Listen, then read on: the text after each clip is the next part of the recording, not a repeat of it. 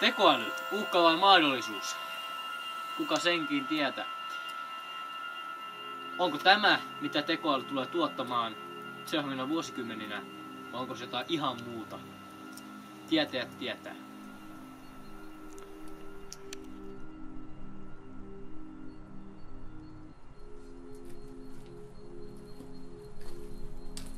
Marx on mörkö.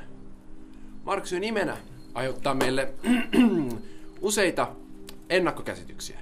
Neuvostoliitto, kommunismi, Stalin.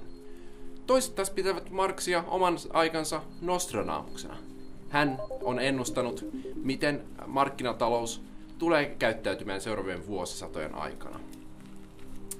Auta meitä löytämään kultainen keskitie, miten meidän tulisi suhtautua Marxin opetuksiin puolettomasti ja kriittisesti. Karjala takas!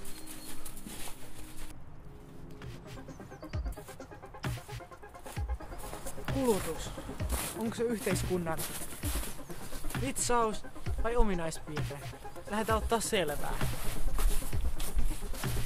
Tämä on hyvä esimerkki kulutuksesta.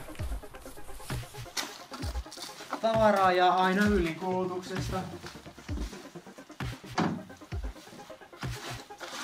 Sitä joskus, joskus sitä on käytetty hyvään tarkoitukseen.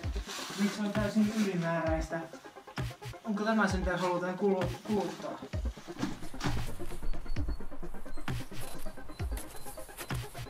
Tekoäly, uhka vai mahdollisuus? Marx on mörkö.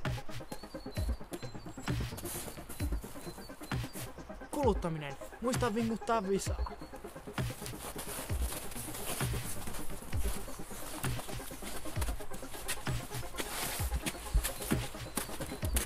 Jos haluat saada lisätietoja tästä viimon tapahtumasta, seuraa näitä linkkejä.